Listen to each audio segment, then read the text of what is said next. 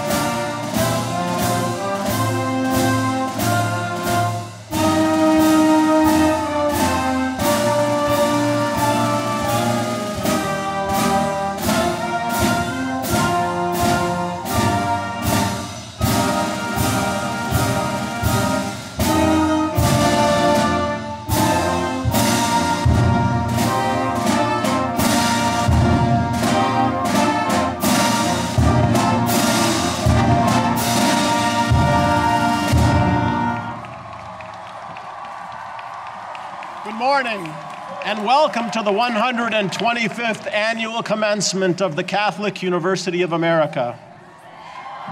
We begin by asking God's blessing with the traditional prayer for the university delivered by His Eminence Cardinal Donald Wuerl, Archbishop of Washington and Chancellor of the university.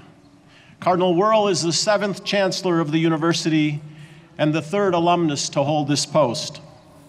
After the invocation, please remain standing and join in singing the national anthem, which will be led by Mia Shea Ethi and Emily Kathleen Risley, candidates for the degree of Bachelor of Music from the Benjamin T. Rome School of Music. In the name of the Father, and of the Son, and of the Holy Spirit. Father of light, from whom is every best and perfect gift, we return you humble thanks for our National Catholic University and for the blessings, great and manifold, which through its ministration you have bestowed on us, our religion, and our country. You were pleased, O God of wisdom, to raise it up for the glory of your name and the welfare of your church. Fulfill in it, we beseech you, your will, your never failing purpose. Let your Holy Spirit abide with it, and through its teaching, hold us steadfast in our Catholic faith. Make its light so to shine that all who are seeking after truth may come to know you who are truth itself, and to keep your law, which is the way to eternal life. Give our people such understanding of our university, its aims, and its power for good, that they may love it even as the church loves it, and strive as of one mind with the head of the church for its increase and advancement. And let us all, as sharers by word and deed in the work which you have established, have joy in its prosperity and comfort in the certain hope of the eternal reward which you have promised to them who do your faithful service for the sake of him who is the way, the truth, and the life, your Son and our Lord and Savior, Jesus Christ. In the name of the Father, and of the Son, and of the Holy Spirit.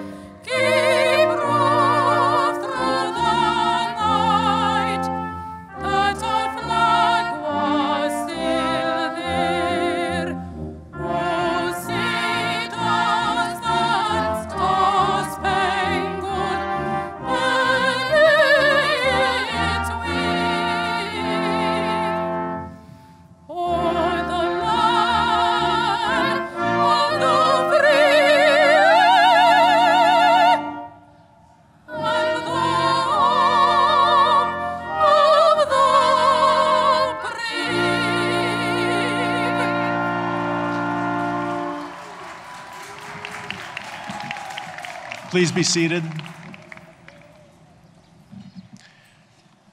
Your Eminences, President Garvey, members of the Board of Trustees, administrators, faculty and staff, families and friends of the graduates, distinguished guests, members of the class of 2014, The rituals of this day, on which we mark the 125th commencement of the Catholic University of America, are meant to signify a turning point in the lives of our graduates.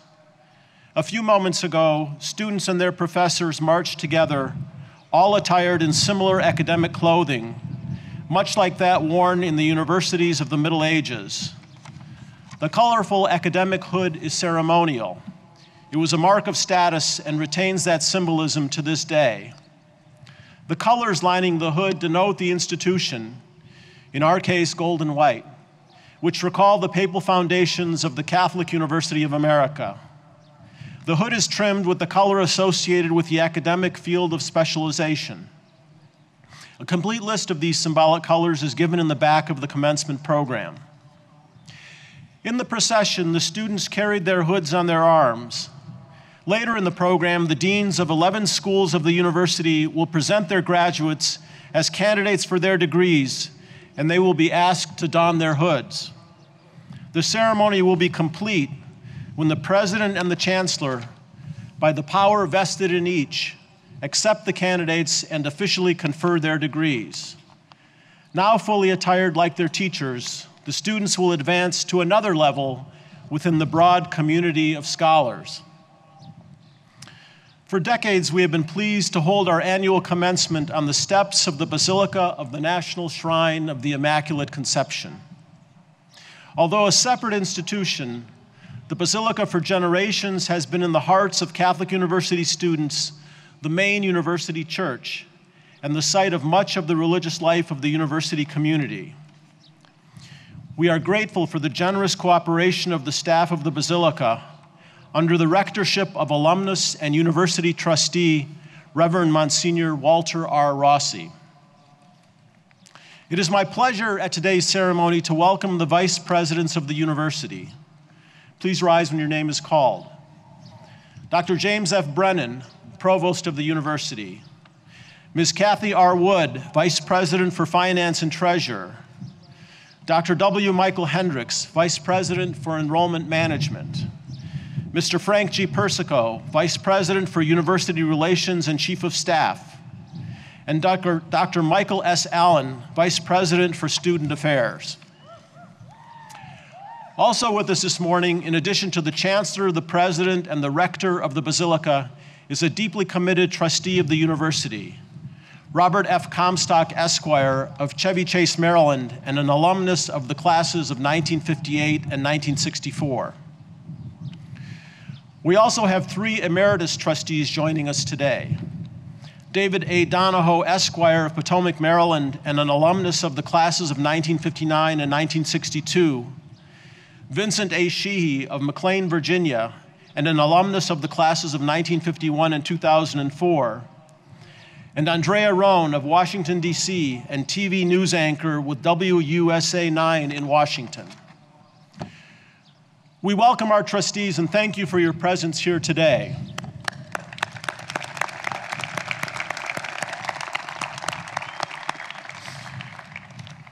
Also seated on stage are Vice Provost and Dean of Graduate Studies, Dr. James Green, Vice Provost and Dean of Undergraduate Studies, Dr. Peter Shoemaker, Associate Provost for International Affairs, Dr. Mario Ortiz, the University Chaplain and Director of Campus Ministry, Reverend Jude DeAngelo, Order of Friars Minor Conventual, Associate Vice President and University Registrar, Ms. Julie Isha,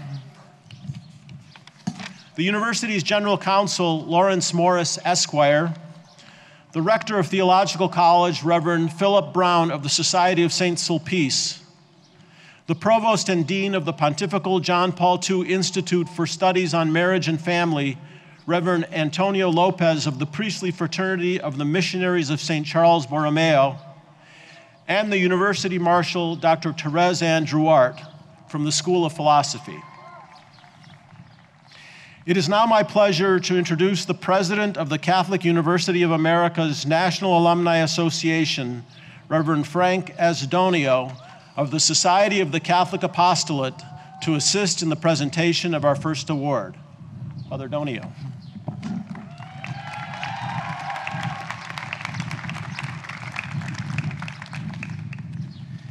Dear members of the class of 2014, it is my honor and privilege to serve as president of the Catholic University of America Alumni Association and to represent the association this morning. On behalf of our entire alumni family, please accept my congratulations on your momentous accomplishment. At this time, I ask my fellow alumni of the Catholic University of America who are in the audience or on the stage to stand and join me in welcoming you, the class of 2014.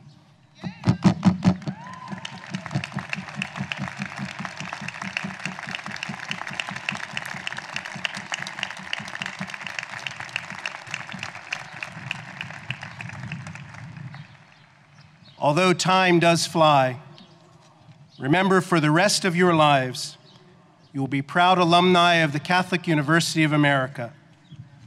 I know that you will stay engaged and connected to your alma mater. Welcome, and may God always be your light.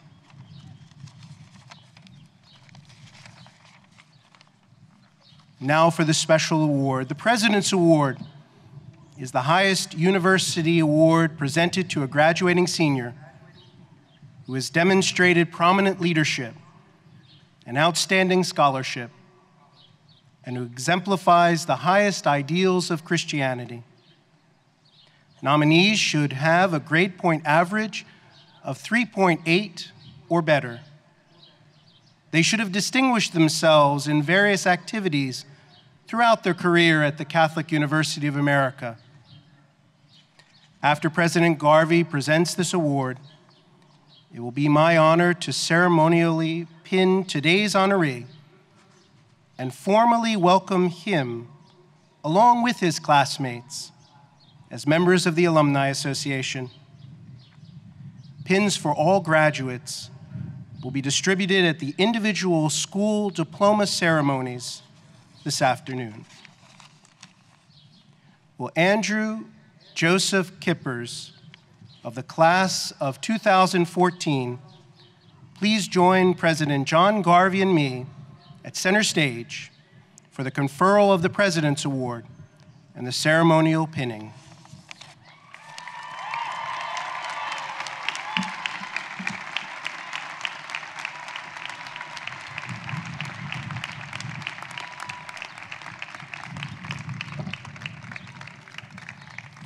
Andrew Joseph A.J. Kippers has been a role model student leader at Catholic University.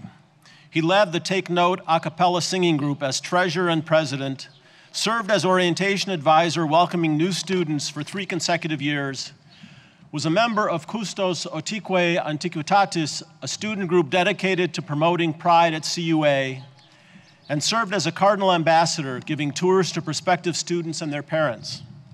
For nearly three years, he worked for the Office of Campus Activities, where he acquired a reputation as a superb student employee who was not only enthusiastic, friendly, and hardworking, but also found a way to improve office work processes. AJ would come to the office even outside his regularly scheduled work hours to make sure everything was operating smoothly. Once he even came in on a day when classes were canceled and offices were closed due to, snow to get funding requests sorted for student organizations. On top of all that, he managed to maintain an excellent academic record and to help his fellow students in their academic endeavors as a tutor and a teaching assistant for an introductory course in financial accounting. He gave his heart and his soul to all these undertakings. Please congratulate Andrew Joseph Kippers as he receives the 2014 President's Award.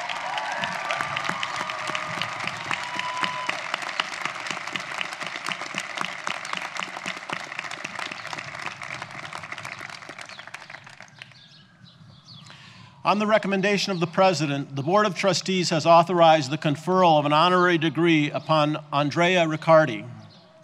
I would ask that Professor Riccardi join President Garvey at center stage. Born in Rome in 1950, Andrea Riccardi is internationally known for his founding of and continuing work with the community of Sant'Egidio. He is also a scholar of the history of the Catholic Church and an expert in contemporary humanistic thought. Riccardi founded the community of Sant'Egidio in Rome in 1968 following the Second Vatican Council. A movement of lay people, the community now has more than 60,000 members in Rome and 73 countries. It is dedicated to solidarity with the poor and bringing peace to nations in strife through dialogue and prayer. In 2004, Riccardi accepted in the community's name the Balzan Prize for Humanity, Peace, and Brotherhood Among Peoples for a program to combat AIDS and malnutrition in Mozambique. He has taken part in mediating conflicts and helping attain peace in Mozambique, Guatemala, the Ivory Coast, and other war torn nations. Riccardi's international stature as a highly regarded proponent of social Catholicism led to his being named Italy's Minister for International Cooperation, a position he held from 2011 to 2013. He accepted the role, which came at a time of financial crisis for Italy, to promote the culture of common good. A professor since 1981, Riccardi teaches contemporary history at Roma Tre University in Rome. In addition to his scholarly books on church and modern European history, in 2011, Riccardi wrote a biography of St. John Paul II. In recognition of Riccardi's professional courage and humanitarian commitment, Time magazine named him one of 36 modern heroes of Europe in 2003. He received the Charlemagne Prize an annual award given to public figures and institutions promoting a united Europe and contributing to spreading a culture of peace and dialogue in 2009, one of the few non politicians to have been so honored. Riccardi has received honorary degrees from universities in Belgium, Spain, Germany, and the United States. He is a member of the Honor Committee of the Foundation Chirac, an organization launched in 2008 by former French President Jacques Chirac to promote world peace. For his commitment to humanitarian work and his promotion of active participation in the life of the Church, the Catholic University of America is pleased to bestow upon Andrea Riccardi the degree Doctor of Humane Letters, honoris causa.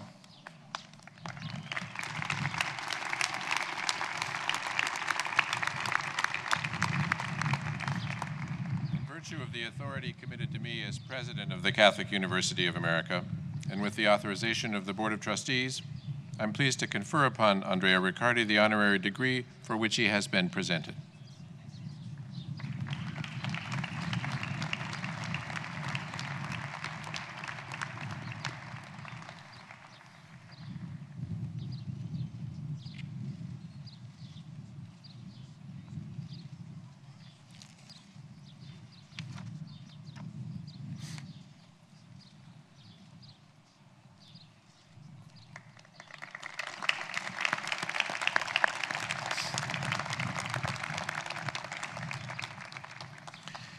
On the recommendation of the President, the Board of Trustees has authorized the conferral of an honorary degree upon His Eminence Cardinal Luis Antonio G. Tagle. I would ask that Cardinal Tagle join President Garvey at center stage.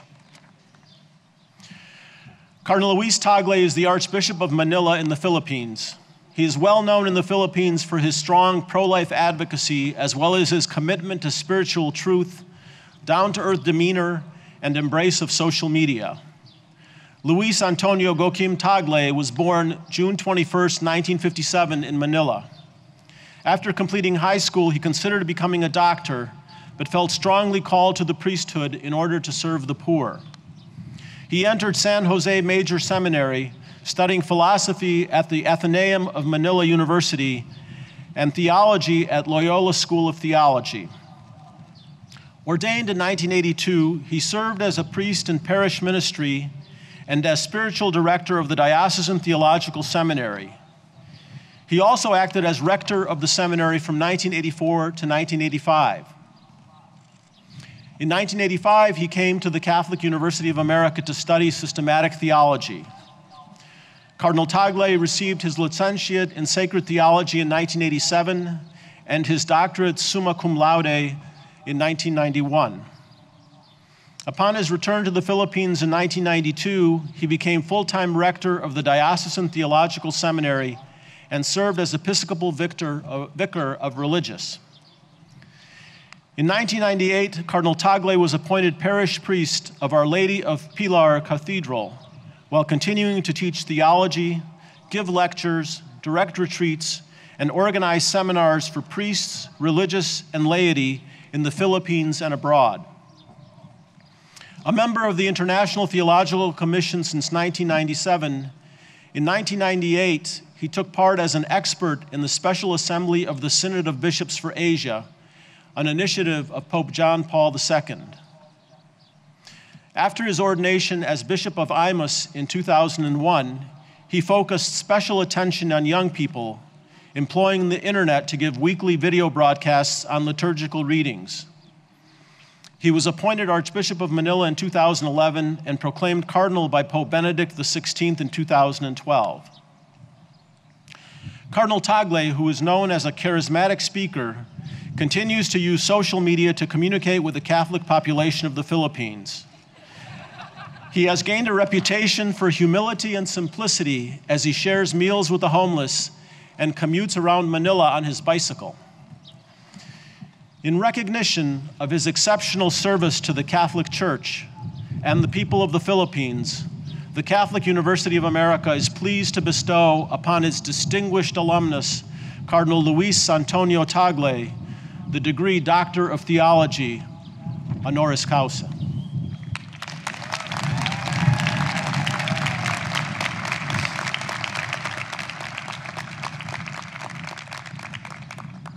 Virtue of the authority committed to me as president of the Catholic University of America, and with the authorization of the Board of Trustees, I'm pleased to confer upon Cardinal Tagle the honorary degree for which he has been presented.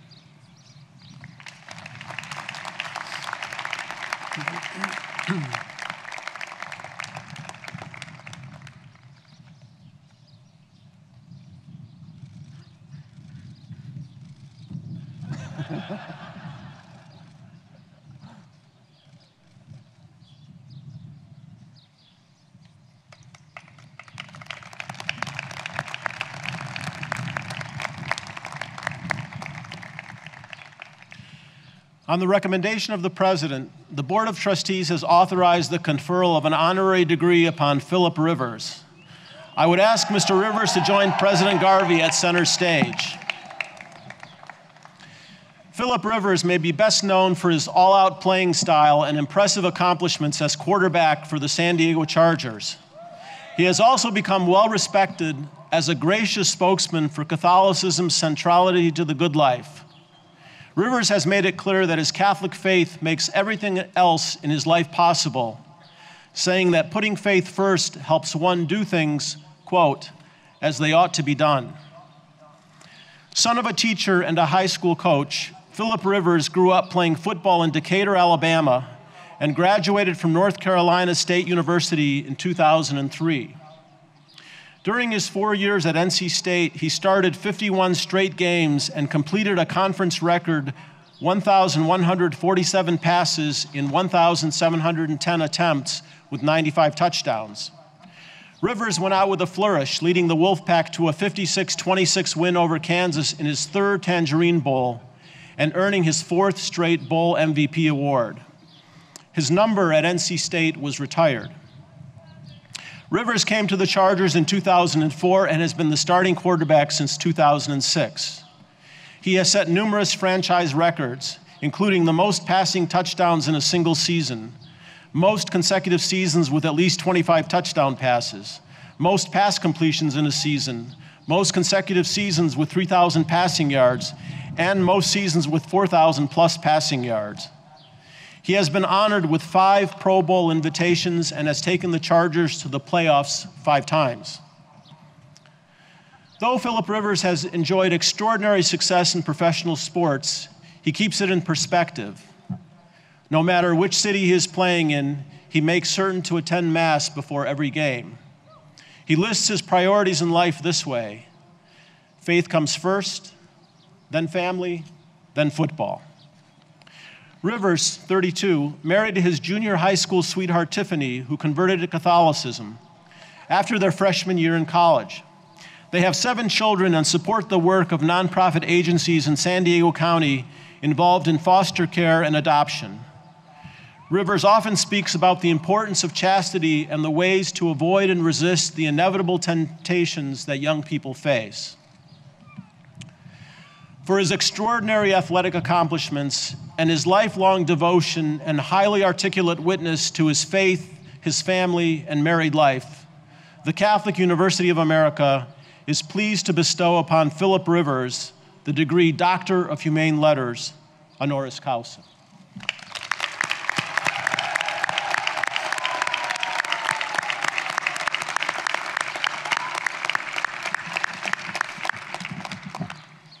Virtue of the authority committed to me as President of the Catholic University of America, and with the authorization of the Board of Trustees, I'm pleased to confer upon Philip Rivers the honorary degree for which he has been presented.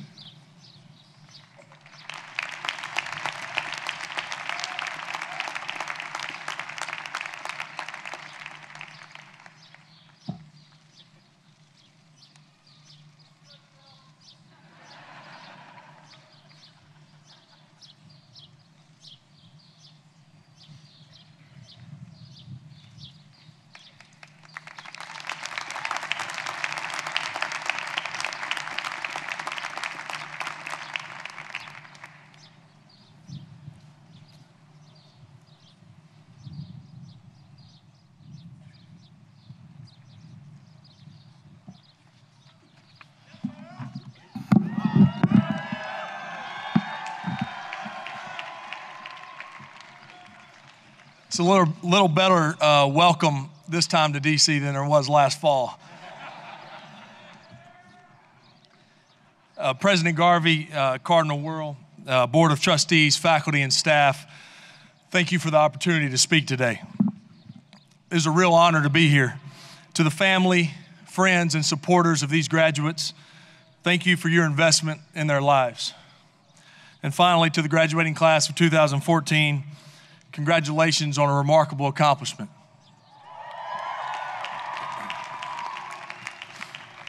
Although I had been on ESPN and many other national TV sports broadcasts throughout my career, my mother once told me when I appeared on EWTN's Life on the Rock that I had really made it to the big time.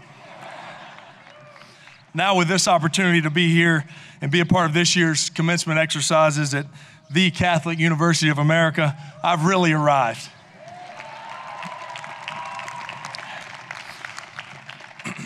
what makes it even more special is, is being here on the steps of the Basilica of the National Shrine of the Immaculate Conception.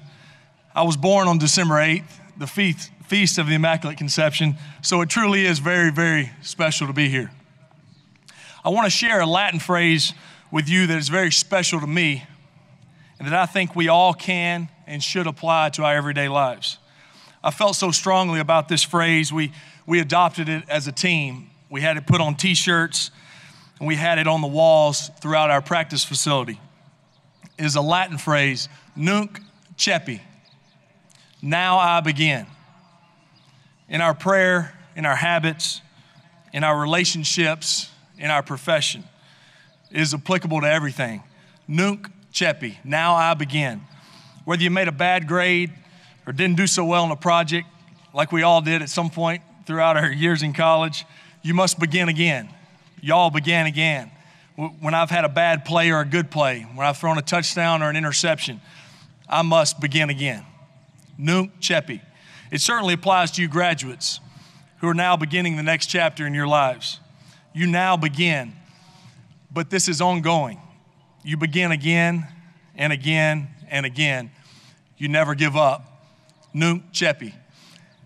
It's spelled N U N C C O E P I. And I know I can't quite put the Latin twang on it, it's more of an Alabama twang, but it gets the job done. My teammates often tease me about that. Nunc coepi. They're like, that sounds real Latin to me, but. But remember that phrase and reflect on it as, as I continue. It wasn't too long ago, well, it, it was about a decade ago that, that I was sitting in your seat. I had mixed emotions. I was somewhat somber, leaving great experiences and great relationships, but I was also eager to face the next challenge. I wasn't certain what the future held or where I would be headed, but I was certain of what mattered most to me. I knew as long as I stayed focused on my priorities, I would be ready for life's ups and downs. What are your priorities? What is the foundation on which you will build your future? Mine are very simple faith, family, and football. In that order. You may find this hard to believe, but I'm pretty passionate about football. I know I hide it very well on Sunday afternoons. I'm obviously kidding. But of course, I'm passionate about football. It's been much more than a game to me, it's meant so much to me. football means time with my dad. I grew up around my dad's football team. He was the high school coach in town. I was his water boy, I was the ball boy, and I longed for the time when I would get to be his quarterback. What an experience that was. We share so many great memories together. Even now, I call him almost daily to analyze the previous game, discuss the next opponent, or, or just simply talk ball. He and I can and do talk about everything, but there's something special about talking football with my dad. Football also means camaraderie. The fans, the touchdowns, making the highlights on Sports Center, that's all fun stuff. But it's the bus rides and the locker room and the practice field and the weight room and the time spent with my teammates and coaches that are most enjoyable. It's setting team goals, facing the obstacles shoulder to shoulder, and climbing that mountain together. It's that journey with your, with your buddies to try to get to the top of that mountain that makes winning so special. Football means preparation, hard work, and achievement, pursuing excellence and striving to get better.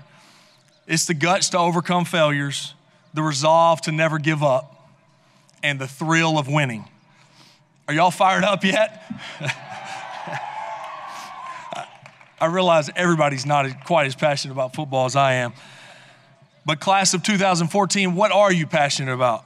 What excites you? What fires you up? What is your football? Life is too short to just go through the motions. Discover your passion if you haven't already and do it to the best of your ability.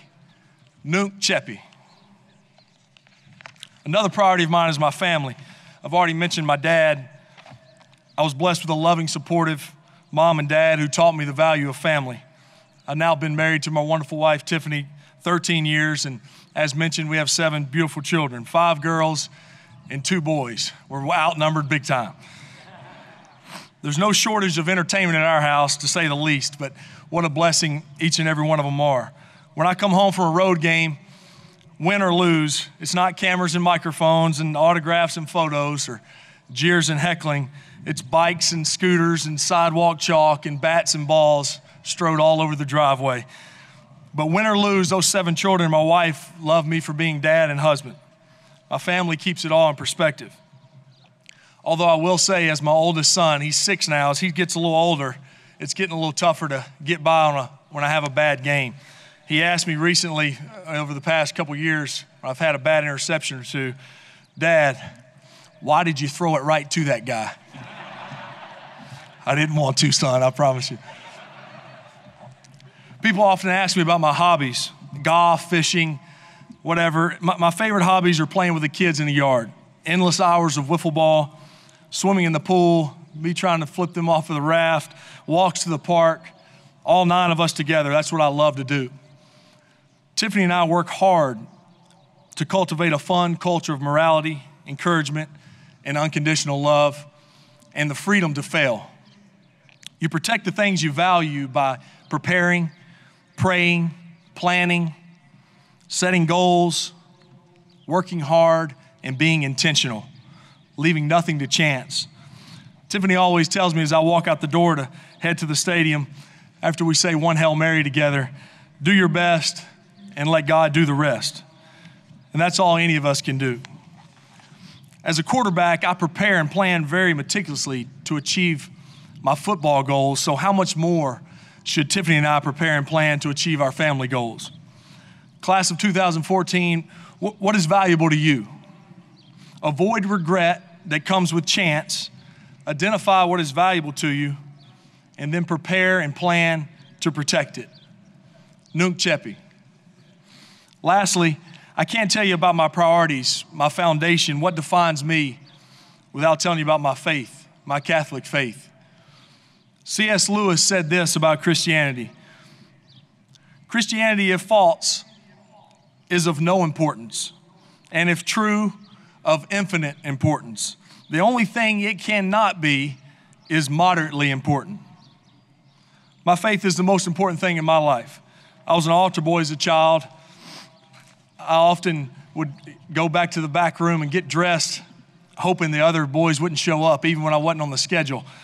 And because I wanted to be up there and serve every Sunday, I, I cherished that opportunity to be that close and involved in the celebration of the Eucharist. The one basic fundamental of our faith that was instilled in me as a young boy from my parents was to never miss Mass on Sundays.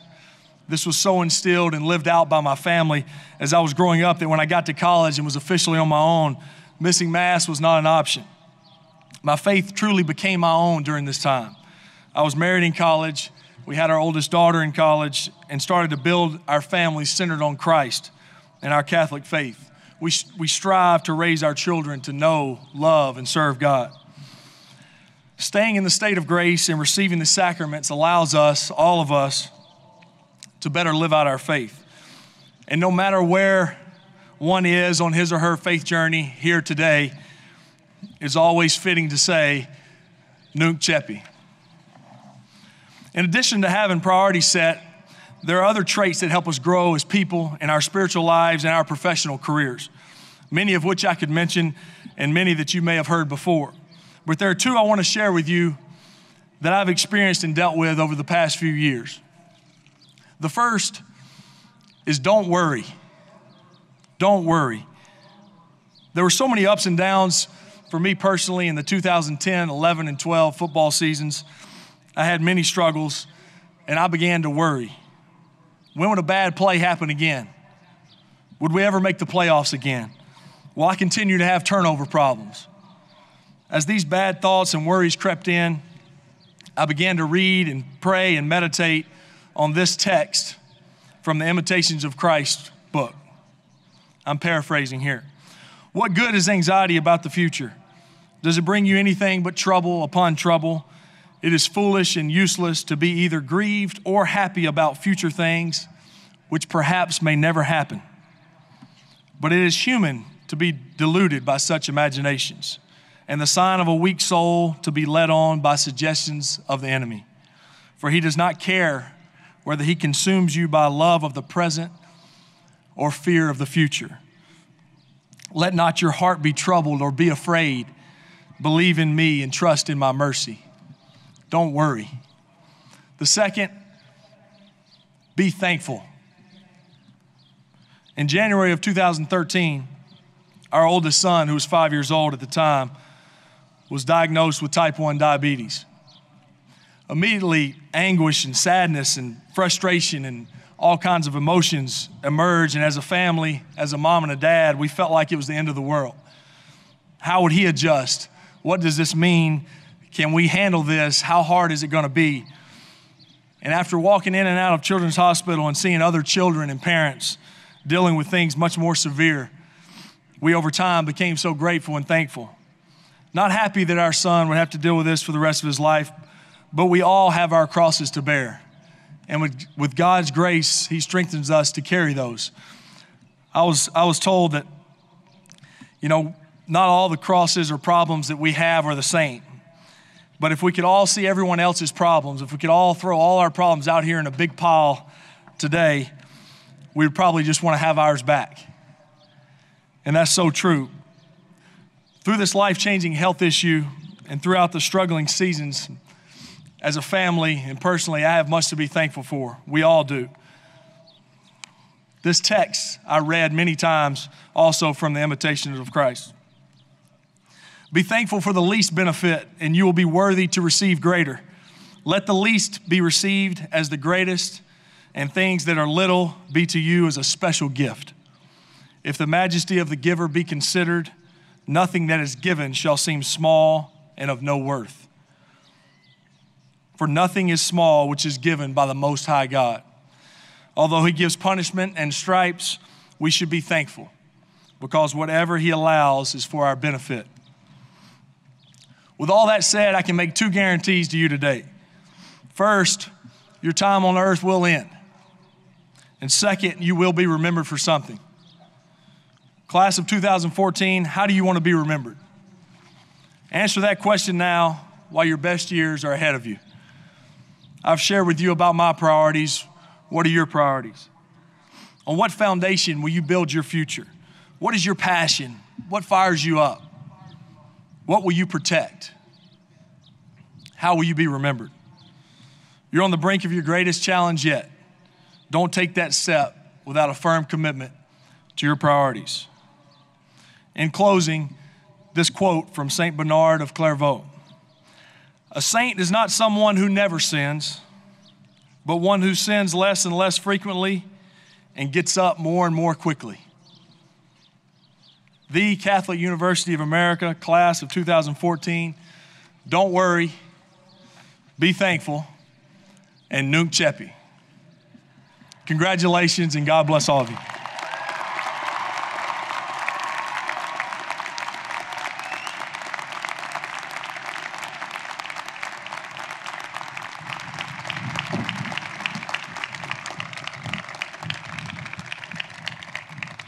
Mr. Rivers, the Catholic University community is most grateful to you for such a thoughtful and uplifting address. By your presence and through your speech, you have made this special day of celebration even more memorable. At this time, it is my honor to present Dr. James Brennan, Provost of the University, who will present the candidates for degrees earned in course. Dr. Brennan.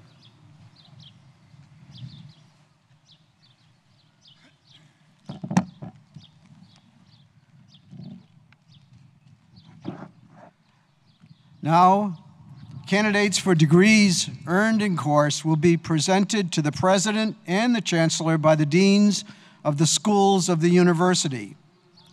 Honors for undergraduate academic achievement earned by the candidates are noted in the printed program.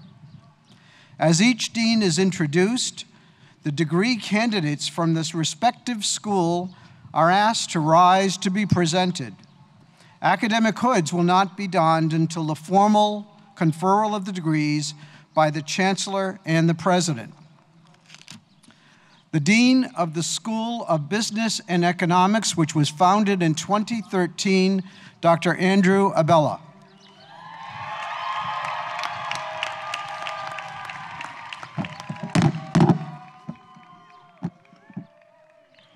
Your Eminence, Cardinal Wuerl, and President Garvey, as Dean of the School of Business and Economics, I have the honor to present candidates for the degrees of Bachelor of Arts in Economics, Bachelor of Arts in International Business, Bachelor of Science in Accounting, Bachelor of Science in Business Administration, Master of Arts in Integral Economic Development Management, Master of Science in Accounting, Master of Science in uh, Business Analysis, who have been approved by the Academic Senate.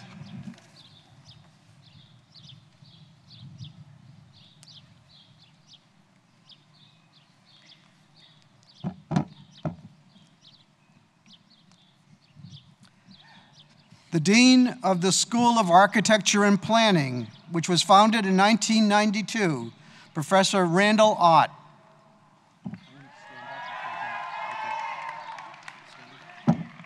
Architecture students, please stand. Your Eminence, Cardinal Wuerl and President Garvey, as Dean of the School of Architecture and Planning, I have the honor to present candidates for the degrees of Bachelor of Science in Architecture, Master of Architecture, Master of City and Regional Planning, and Master of Science in Sustainable Design, who have been approved by the Academic Senate. Congratulations.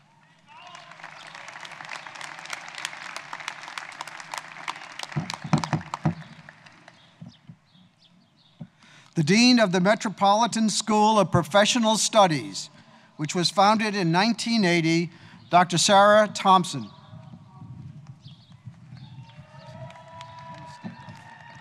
Your Eminence, Cardinal Wuerl and President Garvey, as Dean of the Metropolitan School of Professional Studies, I have the honor to present candidates for the degrees of Bachelor of Arts in Information Technology, Bachelor of Arts in Interdisciplinary Studies, Bachelor of Arts in Management, Master of Arts in Human Resource Management, and Master of Science in Management, who have been approved by the Academic Senate.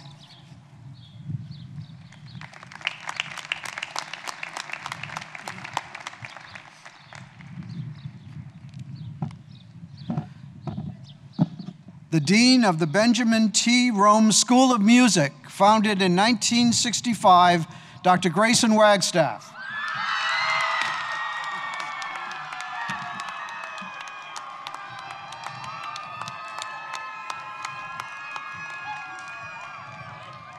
Your Eminence, Cardinal Wuerl and President Garvey, as Dean of the Benjamin T. Rome School of Music, I have the honor to present candidates for the following degrees earned in course Doctor of Musical Arts, Doctor of Musical Arts in Sacred Music, Master of Arts, Master of Music, Master of Music in Sacred Music, Bachelor of Music, and our very first Bachelor of Arts, who have been approved by the Academic Senate.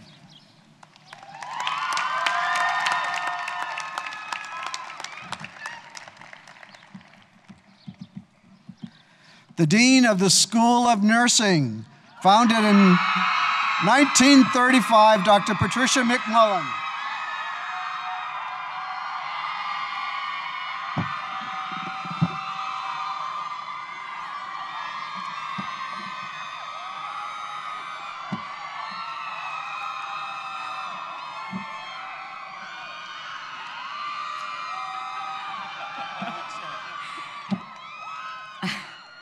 Your Eminence Cardinal Wuerl and President Garvey, as Dean of the School of Nursing, I have the honor to present these most enthusiastic candidates for the degrees of Bachelor of, Bachelor of Science in Nursing, Master of Science in Nursing, and Doctor of Philosophy.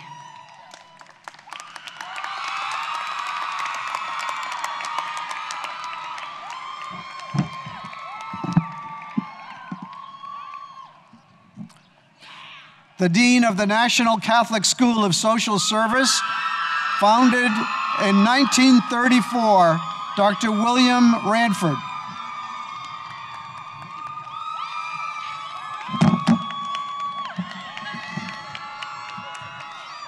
Your Eminence, Cardinal Wuerl, and President Garvey, as Dean of the National Catholic School of Social Service,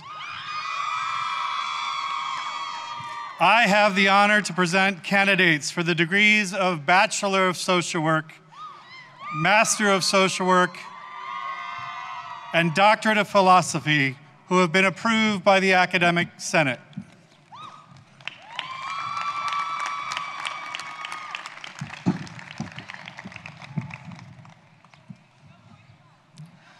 The Dean of the School of Engineering, founded in 1930, Dr. Charles C. Nguyen.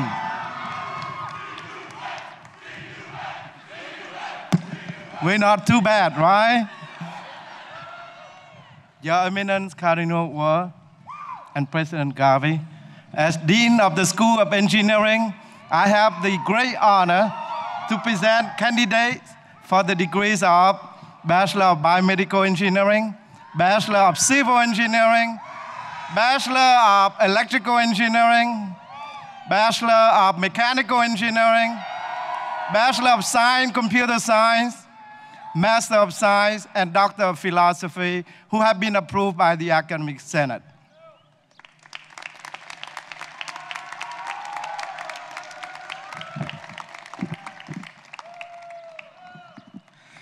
The Dean of the School of Canon Law, founded in 1923, Father Robert Kaslyn of the Society of Jesus.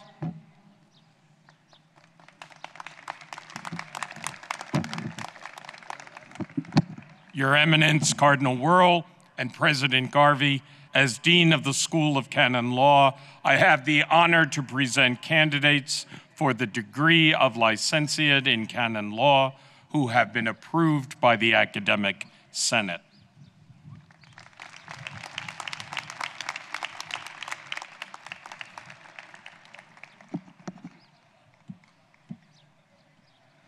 The Dean of the School of Arts and Sciences, founded in 1906, Dr. Lawrence R. Poos.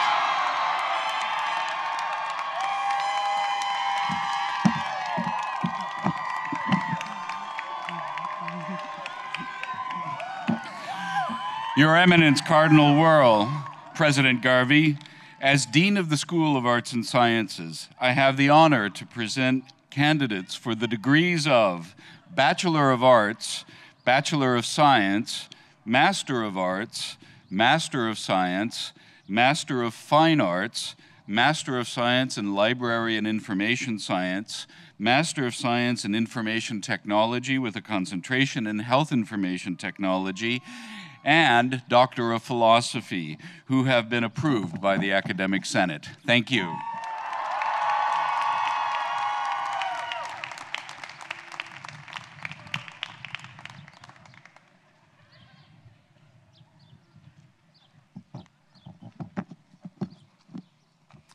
The Dean of the School of Philosophy, founded in 1895, Dr. John McCarthy.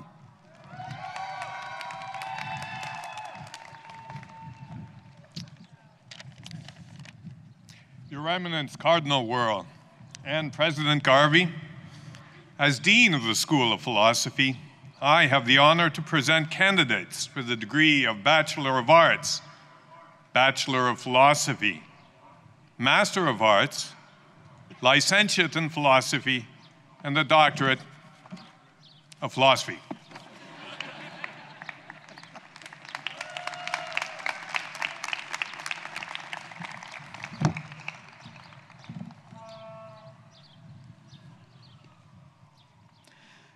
the Dean of the School of Theology and Religious Studies, founded in 1889, Father Mark Morozowich.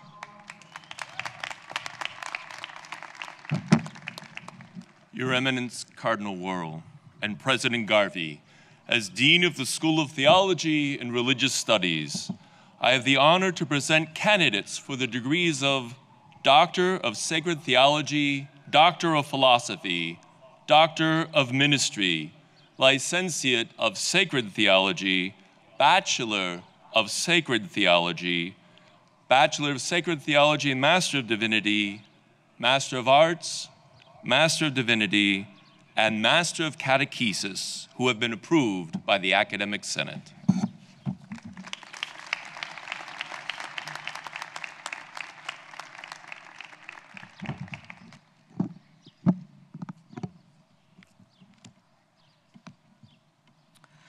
Members of the faculty of the Columbus School of Law, founded in 1899, are also present with us today but the degree Juris Doctor from the law school will be conferred at the university commencement exercises on Friday, May 23rd at 11 a.m. here inside the Basilica of the National Shrine of the Immaculate Conception.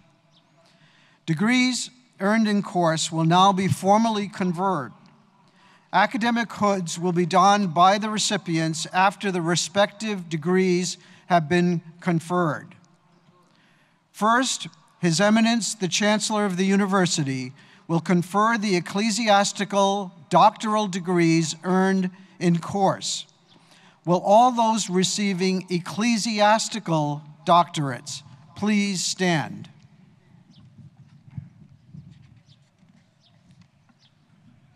In virtue of the authority committed to me as Chancellor of the Catholic University of America, I am pleased to confer upon each candidate who has been presented for an ecclesiastical doctoral degree for which each has been individually recommended by the School of Philosophy, the School of Canon Law, and the School of Theology and Religious Studies, and by the Academic Senate, as having satisfied the requirements for these degrees as prescribed by the Holy See. Congratulations.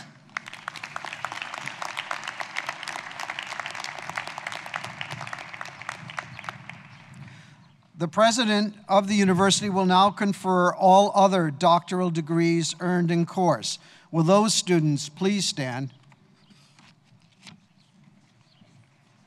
In virtue, in virtue of the authority committed to me as President of the Catholic University of America, I'm pleased to confer upon each of you the doctoral degree for which you have been individually recommended by your several schools and by the Academic Senate.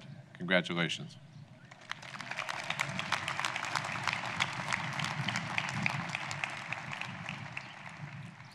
His Eminence, the Chancellor of the University, will now confer the ecclesiastical licentiate and baccalaureate degrees earned in course. Will all those students receiving ecclesiastical degrees other than doctorates please stand?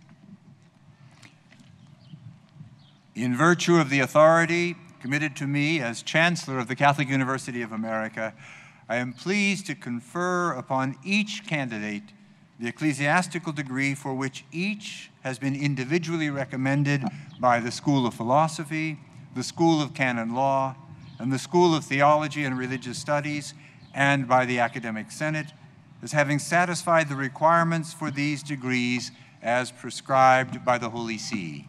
Congratulations.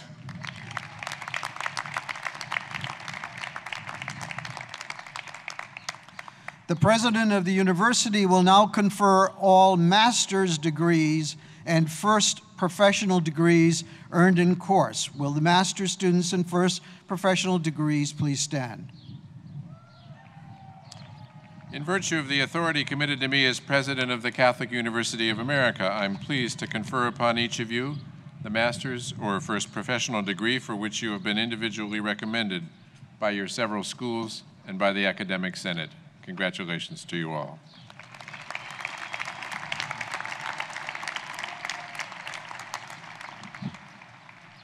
Will all those receiving bachelor's degrees please stand?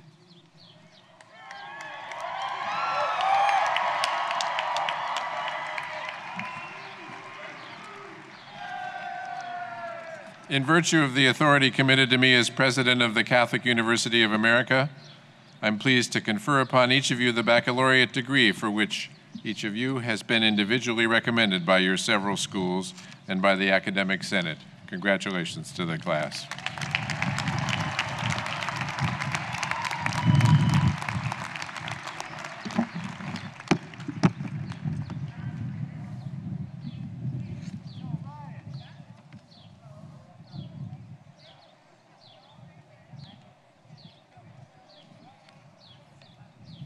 All doctoral candidates will now please rise and be escorted to the stage by the ushers to be greeted by the president, the chancellor, and the provost. The commencement program contains the names of all the doctoral candidates, including the names of those whose degrees were conferred earlier during the academic year and the dates of conferral. For the Benjamin T. Rome School of Music, William Henry Atwood II, Anna Mercedes Castrello, Sunjen Hannah Jeg, Jong Un Park Kang, er Urjan Lee, Young Ji Park, David Mark Perkel, Flor Marjorie Serrano Prada, Benjamin Streeter Redwine, Chloe Canton Rice, Edmund Salas, Damian Giuseppe Severino. For the School of Nursing, Teresa A. Kaptanovich, Elaine Faye Williams. For the National Catholic School of Social Service, Beth Gwynn Bettman, Michelle Renee Cook, Sarah M. Steverman, Dorothy Daly Van Dam. For the School of Engineering, Mamdou El Mostafa K. Ardakani, Pejman Gassami, Aldo Glean, Pedro L. Gonzalez, Alan D. Hayes, Mesfin Leku, Hoi Bui Nguyen, Thu Thien An Nguyen, Tiffany Suella Ormonkanwaye. For the School of Canon Law, Monsignor Darish J. Zilonka. For the School of Arts and Sciences, Alan E. Barnes, Patrick Bracy Burznak, Celeste Barker Bright, Marcel Antonio Brown, Javier Castro, Brian Keith Chappelle, Sergio G. Coelho, Delia Raquel Kumba, Michael Shea Dutka, William Bastian Fullalove, David E. Gartenstein Ross, Brent Douglas Gilbert, Christopher Gildemeister, Elena Gutierrez, Robert S. Hand, Tabitha Suzanne Harper, Candace Jean Catherine Hill, Robert Kenneth Hinman, Marie Daguano Ito, Van Allen Jackson, Nicholas J. Com, Andrew Victor Kaufman, Timothy Aaron Kearns, Brianne Kidd Cowart, Brooks Lamp, Monica Mulholland, Victor Padilla Sanchez, Cynthia Park, Marissa White Pearson, Konstantin V. Popov, James M. Ronan, Melissa N. Smith, Anna D. Skinner, Oleg Vasilyevich Yeroshin, Elizabeth Blake Saccharin. For the School of Philosophy, Margaret Ross Saucier, Peter F. Furlong, Paul Murphy Higgins, Carrie Rose Deborah.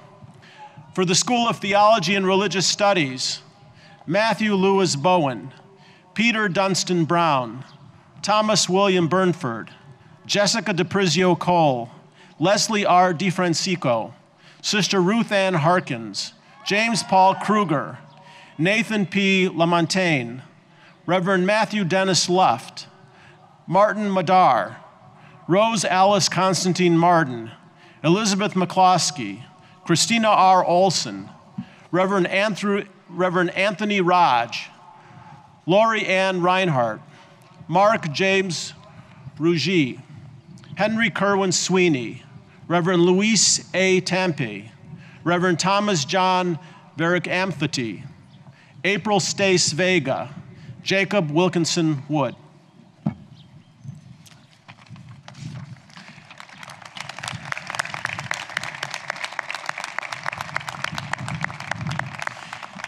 And now I would like to invite President Garvey to deliver remarks.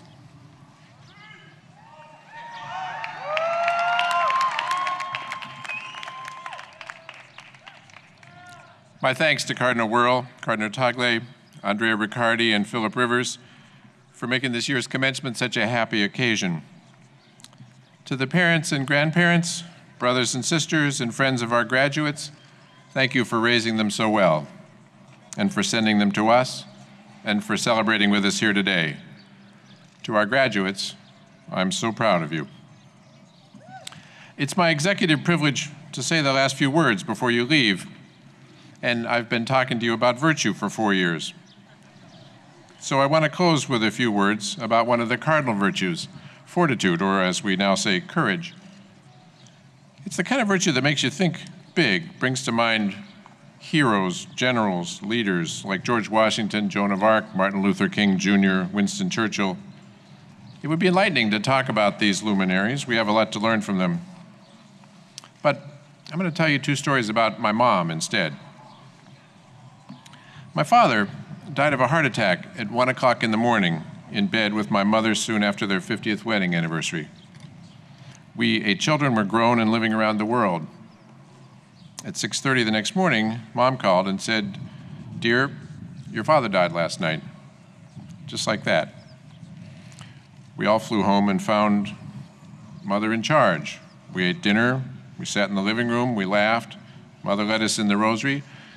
And she said, John, give me a scotch. I can't understand why I feel so tired. when she was about 80, we decided that mom needed to move in with one of us. And there was a contest. We all volunteered, but by common consent, my sister Annette got the honors. It meant moving to Denver, which was far from our home in Pennsylvania. Mother's favorite place in the world was a little cottage there, where her children grew up and where she continued to live every summer. My brother Dennis told me about taking mom for the last time up to the lake. One autumn day, she poked around her flower beds and took a last look off the dock, and then Dennis said, she just went and squared her shoulders and got in the car. So, what's my point? Courage is not just for epic adventures, for generals and saints and heroes. Everybody needs courage to live well, and not just in life's big moments. We need courage in small and ordinary ones, too. Mom didn't start being courageous the day my dad died, or the day she moved away from our family home forever. She practiced courage by getting out of bed each morning to build a home and to raise us well. She learned fortitude in the ordinary challenges. And when the time came to show us how to be courageous in, in hard moments, it came naturally. As you begin a new stage on your journey, Nunc Coepi, be courageous. Start small. Have the courage to get out of bed and pray before work, even if your roommates think that's weird. Go against the culture when it's wrong about dating and sex and love. Don't lose your dedication to the poor, even if your coworkers don't get it. Talk about God. It'll take guts, but you'll be surprised at how many people want to hear what you have to say. Treat people as Christ would. The small moments will ready you for bigger challenges, the kind that define your character. Each of you has a different path ahead. Some of you will be, as some of our alumni are, governors, senators, makers of public policy. Your campaign advisors will tell you that your first job is to get reelected. Wrong. Risk your job to do the right thing. It's the cause that makes the virtue. Some of you will be business leaders. There may come a day when you have to bet the company to do the right thing. It might be paying your employees a living wage, or competing honestly to win a contract, or engineering to avoid health risks. Do it. Have the guts to choose virtue over victory if it comes to that. Some of you will be nurses and doctors, and noisy ones at that. Nurture and protect life. It won't always win you admiration. Too many people today want to put a price on the lives of the sick and dying. Have the courage to defend their value. Others will be scientists. Protect your faith. There may be no field where God is more absent than yours. Have the courage to bring him into it. Some will be academics. Have the courage to speak the truth even when it will make you unpopular. Your students and your colleagues will be shaped by it even when they don't admire it. Some of you will be priests, religious, and ministers. The world encourages us to live for ourselves. Embrace your vocation to live for others. Have the courage to swim against the stream. Bring love to a world that needs it badly. Finally, many of you will be husbands and wives and moms and dads. That requires courage too. We live in a culture that sees commitments as temporary and children as accessories. Going against that trend and making a commitment for life takes guts. As a parent, you're required not only to be courageous, but to teach courage. We learned about courage every day that we spent with Mother. She showed us what courageous faith is, how to be a courageous parent, and how to grow old with courage. It's one of the greatest gifts she gave us. You'll do the same for your kids. Start preparing for it and all the other moments that will demand courage in your life now. Live courageously. You won't regret it. Congratulations and God bless you.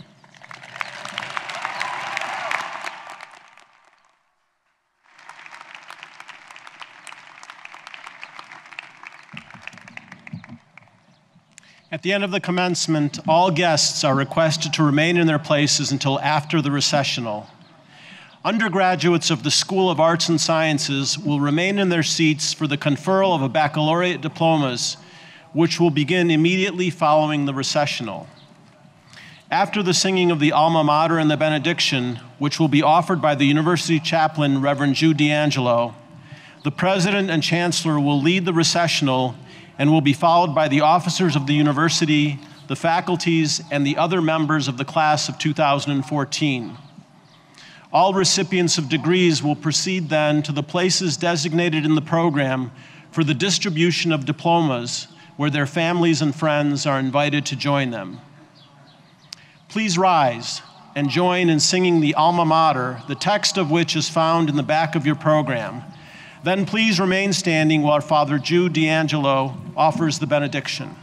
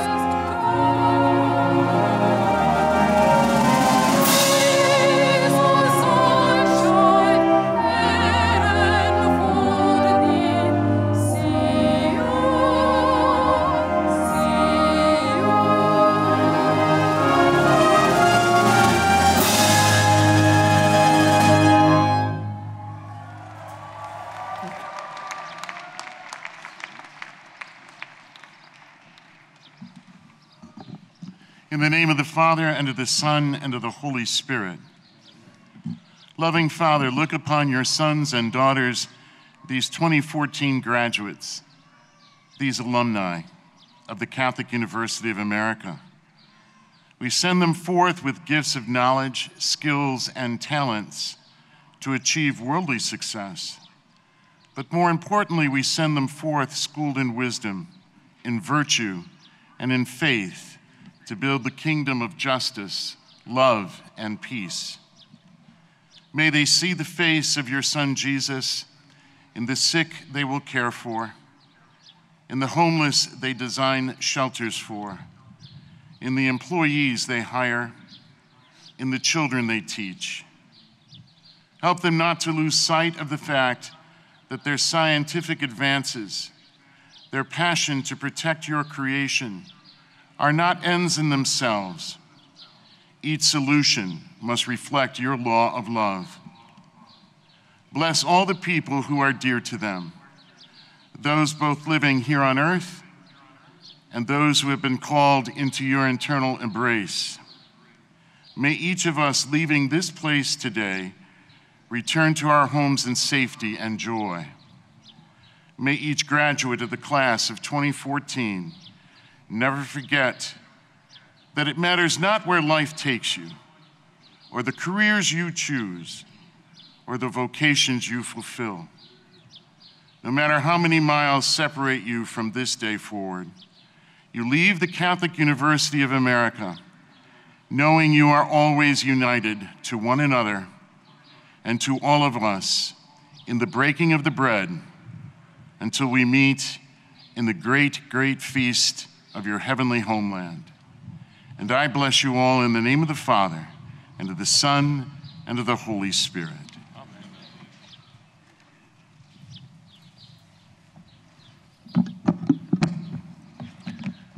Congratulations to all our graduates and their families. I declare this academic convocation for the 2014 commencement of the Catholic University of America officially concluded.